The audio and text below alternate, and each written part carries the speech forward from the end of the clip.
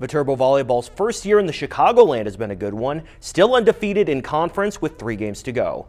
That includes their contest this afternoon against St. Francis. A nice save by the visitors, but blocked by Izzy Jar, part of a seven-point run for the V-Hawks. Jar's a Holmen grad. Wonder how she feels about her alma mater.